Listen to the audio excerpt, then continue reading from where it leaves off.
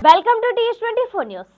రాజస్థాన్ కాంగ్రెస్లో సంక్షోభం మరింతగా ముదురుతుంది. సీఎం అశోక్ గెహ్లెట్ సీనియర్ సచిన్ పైలట్ మధ్య రాజకీయ వివాదాలు తీవ్రంగా మారాయి. ఇదే ఇప్పుడు కాంగ్రెస్ అధిష్టానానికి పెద్ద తలనొప్పిగా మారింది. తాను చేసిన మూడు ప్రధానమైన డిమాండ్లను పరిష్కరించకుంటే రాజస్థాన్ వ్యాప్తంగా ఆందోళన చేపడతానని అశోక్ గెహ్లెట్ సర్కార్కు సచిన్ పైలట్ అల్టిమేషన్ జారీ చేశారు. అంతేకాదు సచిన్ పైలట్ గెహ్లెట్కు వ్యతిరేకంగా రాజకీయాలు చేస్తున్నారు.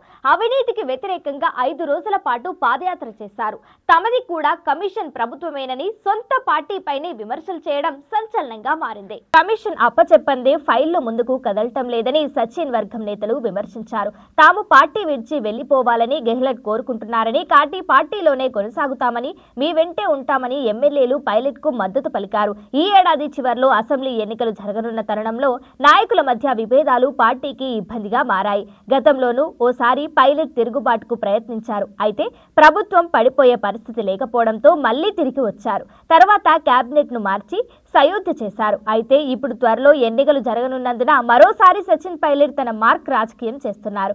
అయితే గెహ్లట్ మాత్రం పైలట్ నమ్మకస్తుడు కాదని ఆయన నమ్మవద్దని హైకమాండ్కు చెప్తున్నారు అట. ఇక నిజానికి గెహ్లట్ను కాంగ్రెస్ అధ్యక్షుడిని చేయాలనుకున్నారు. కానీ సీఎం పదవిని ఆయన వదులుకోకపోవడంతో ఖర్గేకి ఛాన్స్ ఇచ్చారు.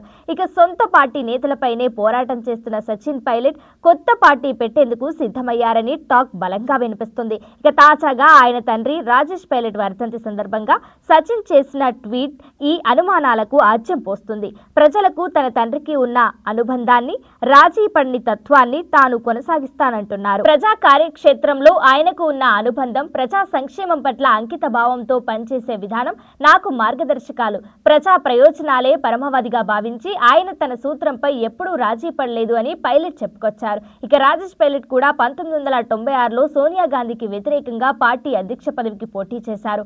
ఆ ఎన్నికల్లో పరాభవం పాలైనప్పటికీ పార్టీలో కొనసాగారు. సచిన్ పైలట్ కూడా అశోక్ గెహ్లట్ పైన తిరుగుబాటు చేశారు. తిరుగుబాటు విఫలమై పదవులు కోల్పోయినప్పటికీ సచిన్ కూడా కాంగ్రెస్లోనే కొనసాగుతూ వస్తున్నారు. కానీ గెహ్లట్ మీద తనకు ఉన్న పంతాన్ని మాత్రం మార్చుకోవడం లేదు.